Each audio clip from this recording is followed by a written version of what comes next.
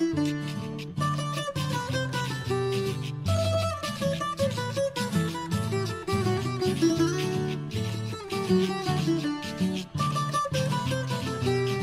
Cuando uno se capacita, aprende a, valorar lo que uno tiene dentro de su finca. Y es importante porque de todas formas hemos aprendido a, que dentro de nuestra finca tenemos unos tesoros importantísimos.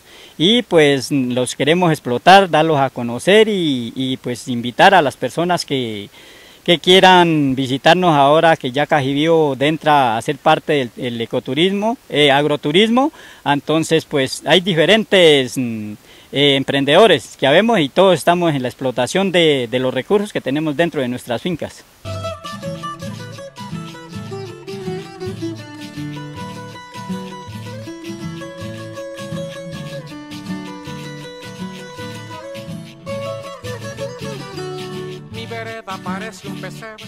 Les podemos mostrar lo que tiene que ver con el café, el plátano, la caña, eh, cuestión de frutales, lo que es la mora, la pitaya, eh, maracúa y de eso pues mostrar los, los derivados que se sacan de ellos, tanto de las frutas como del café.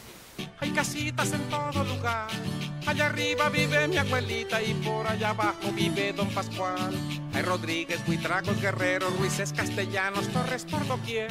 Y Marías, Auroras, Carmela y otros cuantos lindos nombres de mujer. Es hacerle una invitación a, toda la, a todas las personas que a veces, pues, por lo menos la gente joven, que es lo que nos preocupa ahorita, la, la, nueva generación que pues no le están poniendo como cuidado al campo, están, pues se puede ir estudiando, que es importante estudiar, sí, pero pues están emigrando hacia las ciudades y pues mm, haciendo un poquito hacia atrás de lo que fue el, el COVID, pues regresó mucha gente que estaban en la ciudad y, y, están aprendiendo a valorar lo que es el campo. Ahorita pues muchos están, se puede decir, volviendo a recuperar lo que es el campo y la invitación es que no abandonemos el campo. El campo es nuestra finca, es decir, pues pueden salir a mercar, tengan plata o no tengan plata, mercan. En cambio, si se van a las ciudades, pues si tienen plata comen y si no, no tienen.